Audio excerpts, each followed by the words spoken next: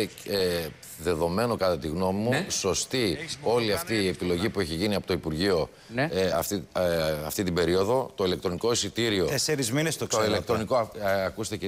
Ε, δεν έχω. Αφήστε με να τελειώσω. Το ηλεκτρονικό εισιτήριο λοιπόν διαμορφώνει ένα άλλο τοπίο ασφάλειας.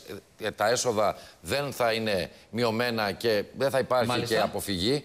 Αυτό είναι υπέρ του πολίτη, γιατί Ναι. οι συγκοινωνίες θα το μπορούν να κάνατε καλό βελτιώνονται. αυτό το ηλεκτρονικό ειστήριο. Το κάνατε καλό. Για να είναι λειτουργικό. Επίσης, αυτό έχει σημασία. Αφήστε, κύριε Αυτιά, δεν μη με ρω- αφήσει να τελειώσω. να Μιλάτε μη πάνω ρωτήσω. μου. Λοιπόν, ε, θα απαντήσω. Αν δεν απαντήσω, με ρωτάτε. Γιατί μου είπες ότι λοιπόν, καλό, το ξέρω. άρα λοιπόν, αυτό είναι σωστό. Πάει το μέτρο αυτό. Ναι. Δεύτερο τώρα. Ότι υπάρχουν, και εγώ ακούω τον πρόεδρο της, ε, ε, τον- από Στασί. τις, ε, της Στασί, τον κύριο Ρινιέρη, και ότι υπάρχουν κάποιες δυσκολίες γιατί ο ίδιος επιβεβαίωσε ότι έχει τεράστιες δυνατότητες και είναι εξαιρετικό. Βεβαίως. Υπάρχουν λοιπόν κάποιες δυσκολίες οι οποίες μπορούν και θα λυθούν. Έτσι. Α, ε, θεωρώ από τις τελευταίες μέρες ότι έχει εξελιχθεί σε ένα βαθμό ικανοποιητικό. Ό,τι παρουσιάστηκε στην εφαρμογή του, Λύστε γιατί το. κάθε πράγμα που μπαίνει σε εφαρμογή θα ε, παρουσιαστεί Καραμαλής. δυσκολία. Λοιπόν. Νομίζω και με Λοιπόν. τη συμβολή, τη Η συμβολή του Σωματείου θα λυθεί. Καραμαλής.